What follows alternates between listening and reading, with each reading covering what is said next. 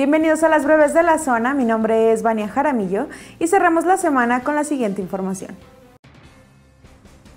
La liberación de Karina N., pareja sentimental de José Antonio Yepes, alias El Marro, es un mensaje de impunidad para la ciudadanía y debe de investigarse si existió alguna omisión. Así lo manifestó el coordinador del grupo parlamentario de Morena en el Congreso local, Raúl Márquez Salvo, quien manifestó que en caso de que exista alguna irregularidad, se debe sancionar.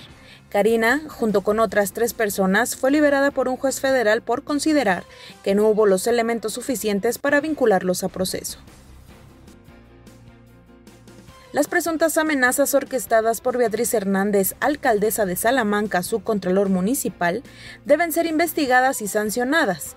Así coincidieron Alma Alcaraz Hernández, dirigente estatal de Morena, y Leopoldo Jiménez Soto, presidente de la Alianza de Contralores del Estado. Y es que Miguel Enrique Cordero Saucedo, contralor de Salamanca, denunció a Zona Franca presentó ante la Fiscalía Anticorrupción dos denuncias por hostigamiento y robo de expedientes por parte de la presidenta municipal.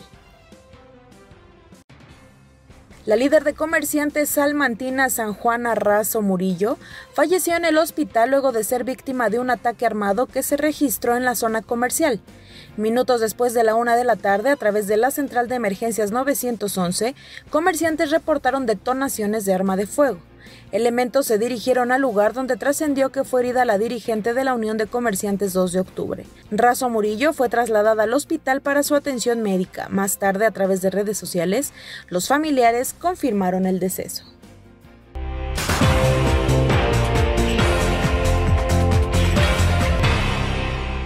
Todos los detalles los puedes consultar en nuestro portal y también en todas nuestras redes sociales. Y si te perdiste algo esta semana, mi compañero Luis Alberto Martínez te presenta un resumen semanal.